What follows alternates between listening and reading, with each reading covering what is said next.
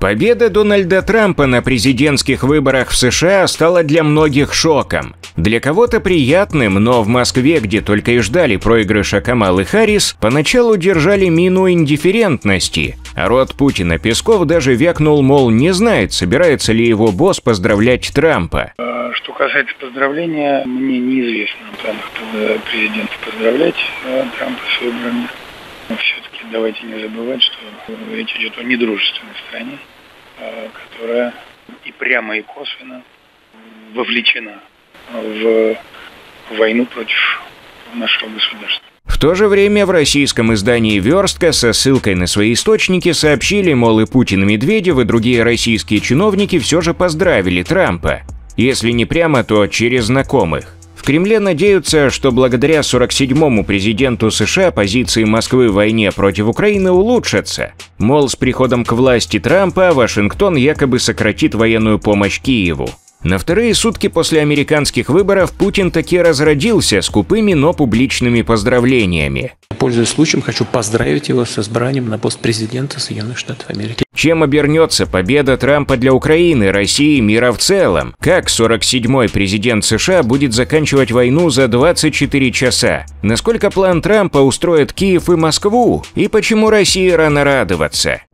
Во время президентской гонки в США кремлевская пропаганда убеждала россиян, мол, республиканец на посту главы государства якобы может быть выгоден России. Но после победы Трампа почему-то резко сменили тон. Российский пропагандист Евгений Попов в своем телеграм-канале выразил опасение, что Трамп еще до января может предложить России заведомо невыгодную сделку по Украине. Если Москва откажется, Трамп объявит о небывалом по масштабам пакете помощи Киеву и снимет все ограничения на использование западного оружия для ударов вглубь России. А Соловьев вдруг осознал, что он и его так называемые эксперты зря радовались успехам Трампа. Не надо искать друзей там, где их нет и быть не может по определению. Поэтому... Трамп такой же системный враг, как любой представитель демократов. Более того, на фоне кадров сентябрьской встречи Трампа с президентом Украины Владимиром Зеленским, так называемые Z-эксперты выразили тревогу по поводу возможной эскалации войны в Украине. А вот алкаш Медведев, наоборот, предрекает сокращение американской помощи Украине с приходом в Белый дом Трампа. Тем не менее, в Москве могут только гадать, в чем же на самом деле заключается мирный план Трампа. А существуют различные планы разных советников Трампа, как публичные, так и э, полупубличные. Все они сходятся к остановке военных действий э, по линии фронта. Но э, дальше начинаются нюансы. И поэтому Украина э, непосредственно влияет на формирование окончательной позиции э, Трампа и его команды. У президента Зеленского есть прямая коммуникация с Трампом, есть уже намеченные посредники, а также Зеленский э, пытается работать с Трампом через европейских лидеров и в Будапеште на совещании по вопросам демократии также президент Зеленский говорил о своей позиции. Позиция Украины э, состоит в том, чтобы стремиться к достижению мира через усиление Украины. То есть входить в любые переговоры, в любое мирное урегулирование через усиление э, Украины, э, что подразумевает никакой так называемой демилитаризации. Украина должна получить гарантии как постоянной военной помощи, так и гарантии восстановления разрушенной инфраструктуры по итогам боевых действий. В Москве спят и видят, мол, под американским давлением Киев признает потерю части своих территорий. Тем более, что Трамп обещал закончить не только войну в Украине, но и все войны в мире. Я не намерен развязывать войну, я собираюсь остановить войны.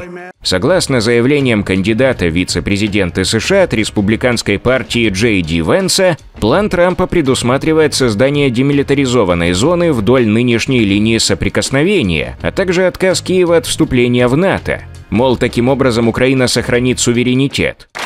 Это неприемлемо, Украина не торгует своими территориями. Существует вероятность, что а, в окончательном э, варианте договоренности будет отказ э, Соединенных Штатов, администрации Трампа э, от освобождения территории Украины исключительно военными методами. Другая крайность – это то, что требует Россия. Россия требует юридического признания факта незаконной аннексии четырех областей Крыма и Севастополя и включение в состав Российской Федерации. Я думаю, что этот пункт удастся отбить украинскими силами, и ни одна страна в мире не признает юридического факта аннексии. И поэтому формула может, кстати, состояться из таких элементов. Сейчас идет прекращение огня, эм, остановка боевых действий, а далее Украина получает право возвращать эти территории, э, используя дипломатические методы, и в этом даже э, Соединенные Штаты и коллективный Запад будут помогать.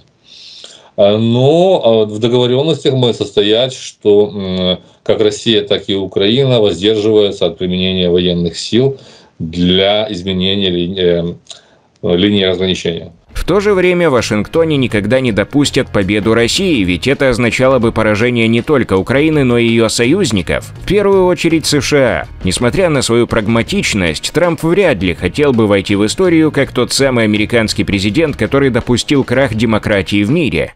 Прошлое, она же действующая администрация Соединенных Штатов, эм, провозглашала своей целью не дать Украине проиграть. А, цель, э, чтобы Украина выиграла и чтобы Украина полностью восстановила свою территориальную целостность, это, к сожалению, звучало довольно редко даже в заявлениях администрации Байдена. Э, и поэтому мы можем ожидать, что, скорее всего, администрация Дональда Трампа э, будет провозглашать такую же формулу. Они не могут позволить Украине проиграть в Украине, и поэтому они не могут позволить пойти на большие уступки России. А, и поэтому будет формироваться некая компромиссная позиция, которая не будет выиграть, выглядеть как проигрыш США, не будет вы, выглядеть как слабость США и не должна выглядеть как э, проигрыш Украины. Сегодня эксперты обсуждают различные варианты действий новой администрации Белого дома в отношении Украины. Одни говорят, мол, Трамп может решиться даже откреститься от войны, Тогда Украину ждет суровый путь. Другие убеждены, даже если Вашингтон уменьшит поддержку Киева, ничего критического не случится. Нужно понимать, что господа демократы, да и европейцы, понимая, что позиция Трампа может носить вот такой достаточно деструктивный характер с точки зрения защиты демократии в мире, э, европейцы и э, демократы-американцы привели к тому, что вот как бы Украине выделено на 25 год 20, 50 миллиардов долларов кредита погашением за счет доходов от замороженных российских активов. То есть, э, э, повторяя слова премьер-министра Украины, э, на 25 год Украина практически полностью закрыла все свои потребности. То есть мы четко понимаем, откуда мы будем иметь полное покрытие наших потребностей, в том числе и военно-технических, на 2025 год. То есть такого жесткого, такой жесткой зависимости с чисто финансовой точки зрения от э, американской помощи Украины, слава богу, нет. Более того, прагматизм и бизнес-жилка Трампа может как раз сыграть на руку Украине. Давать оружие Трамп не будет, а вот продавать его целиком и полностью возможно. Кстати, хочу напомнить, что господин Обама, предшественник Трампа на посту президента в его первой каденции, категорически возражал против поставок Украине летального вооружения. Первые джавелины летальные, которые появились в Украине, были проданы Украине при администрации Трампа. Поэтому с этой точки зрения есть, ну, скажем так, надежда что в интересах американских производителей Трамп не будет возражать при наличии Украины денег о продаже ей тех видов вооружений, которые Украине будет нужна. Вплоть до того, что это может быть поставлено по системе ленд-лиза. Так что и здесь тоже есть в какой-то степени там, ну, призрачная надежда, что Украина получит тот объем вооружений, который ей необходим э, при наличии денег. А деньги, как я уже сказал, 50 миллиардов на 25 год вроде бы как подтверждены, и там в этих деньгах 35 миллиардов европейских. Бывший генсек НАТО Андерс Фог Расмуссен в интервью изданию «Политико» отметил, Чтобы решения Трампа не стали на руку России, Европе нужно коренным образом изменить подход к обеспечению безопасности на континенте в рамках Североатлантического альянса. И хоть Украина пока не является членом блока, он играет важную роль. Украина э, рассматривается на сегодняшний момент как один из элементов общеевропейской системы безопасности. До последнего времени основой общеевропейской системы безопасности были американские военные базы на европейской территории. Я думаю, что ни у кого это не вызывает никаких удивлений. Именно это позволило европейским странам тратить на безопасность и оборону в своих бюджетах годичных меньше 1%. При том, что в рамках НАТО у них было обязательство тратить не меньше трех от ВВП. Но те же французы 0,75, э, немцы 0,5 от ВВП. Почему? Американские базы рядышком. Нет смысла этого делать. Трамп хочет принципиально поменять эту систему. Он хочет, чтобы Европа была э, основным плательщиком по поводу обеспечения ее безопасности. Еще во время своей предыдущей каденции Трамп неоднократно требовал от остальных членов НАТО, чтобы те тратили на оборону 2% ВВП, как это делают США. Он даже грозил покинуть Альянс или игнорировать пятую статью его устава о коллективной обороне, то есть не оказывать военную помощь в случае нападения на одну из стран-членов блока. В результате сегодня 23 из 32 членов НАТО платят 2% своих ВВП. Но теперь, когда агрессивная Россия развязала в сердце европейского континента полномасштабную кровопролитную войну, новой администрации Белого дома этого может быть недостаточно – в то же время, на случай, если Трампу таки вздумается не участвовать в коллективной обороне Альянса, эксперты напоминают о плане украинского президента, пятый пункт которого предусматривает, мол, украинские военные будут обеспечивать безопасность всей Европы. Но кто обеспечит безопасность самой Украины? Это однозначный позитив. Если бы это удалось сделать, есть маленький момент. Американские военнослужащие на американских базах финансируются американским бюджетом. Если мы говорим об украинских военнослужащих на этих же базах, которые будут замещены американцами, будут замещать американцев, то за этих военнослужащих платить должна будет Европа.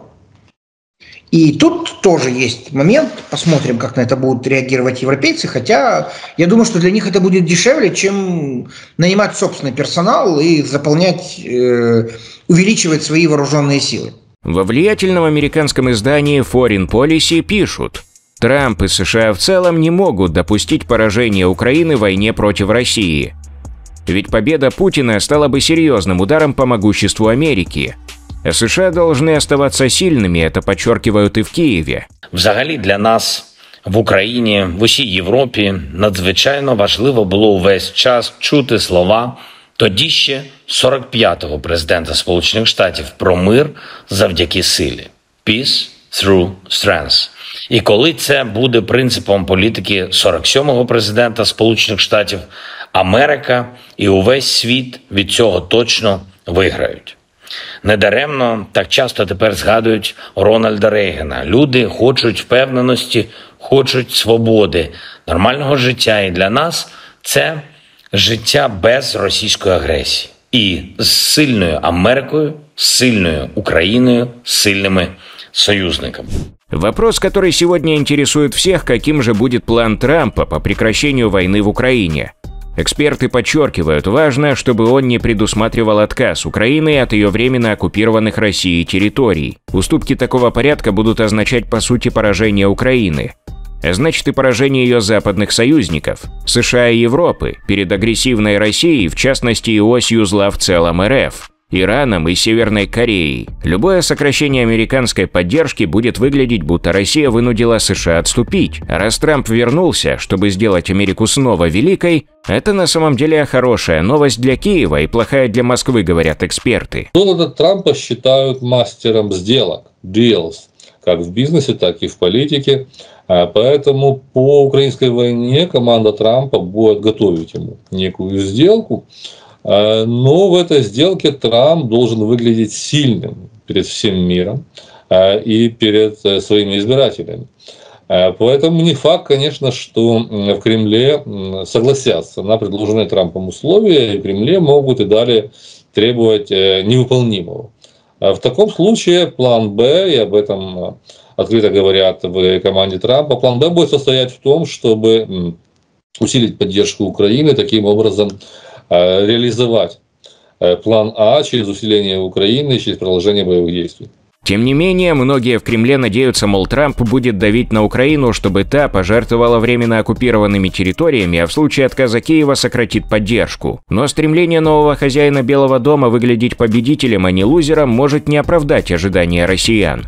Глава МИД Франции Жан-Нуэль Баро считает, что Трамп слишком мудр, чтобы согласиться на крупнейшую аннексию территории за последние 75 лет. Навряд ли будет использоваться формулировка территориальные уступки. А в заявлениях российских политиков может звучать, что да, им позволили а, сохранить контроль над этими территориями. Но территориальные уступки подразумевают юридическое признание факта оккупации территорий и э, их включение в состав а, другого государства. Этого навряд ли россияне смогут добиться.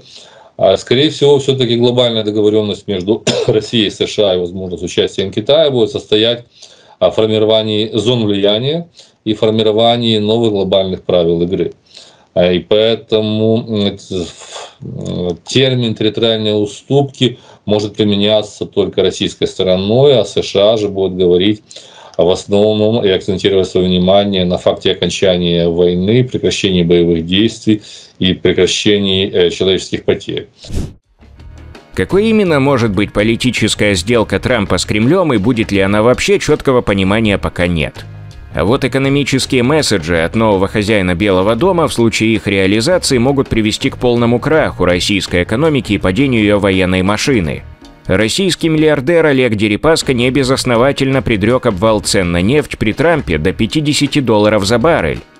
В своей первой речи после победы на выборах Трамп пообещал начать массовую разработку нефтяных скважин. У нас больше жидкого золота, нефти и газа, чем любой другой страны мира. Больше, чем у Саудовской Аравии, больше, чем у России. После этих слов нефть марки Brent сразу подешевела на 2%. Ранее Трамп заявлял, что при цене на нефть 40 долларов за баррель Россия не могла бы вести боевые действия против Украины – Лишь цена в 100 долларов позволила Москве иметь большой военный бюджет. Трамп обещает снять все ограничения по поводу добычи энергоносителей в Соединенных Штатах Америки. То есть теоретически при сохранении прежнего объема добычи нефти странами ОПЕК это могло бы ввалить цену на нефть очень здорово, где-то до 45 долларов за баррель, что делало бы добычу нефти в Российской Федерации практически убыточной. Но есть же еще страны ОПЕК, которые не хотят уменьшения цены барреля нефти. Поэтому при увеличении американской добычи страны ОПЕК могут договориться об уменьшении добычи собственной. Таким образом, сохраняя прежний баланс поставок энергоносителей на мировые рынки. Как это будет реализовываться на практике, сказать сложно.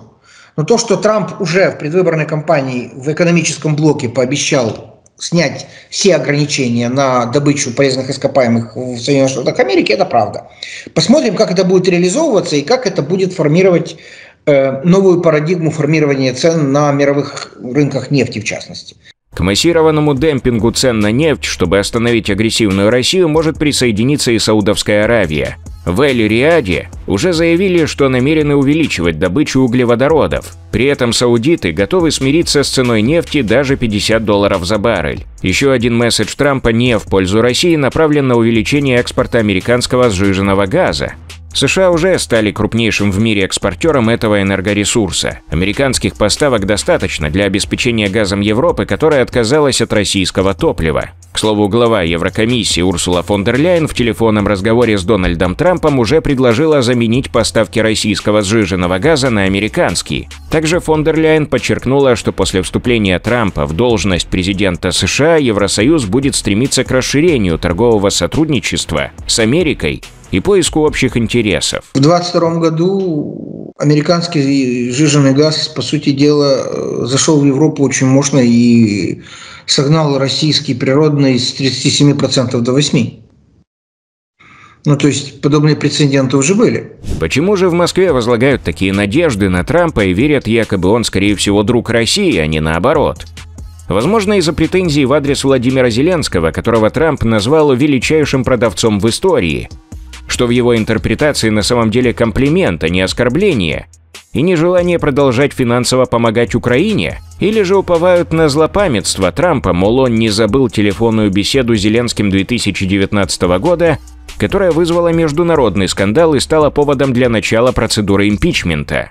У Дональда Трампа и Владимира Зеленского довольно длительная история отношений. А когда Зеленский победил на выборах, Трамп был одним из первых, кто позвонил и поздравил его с победой.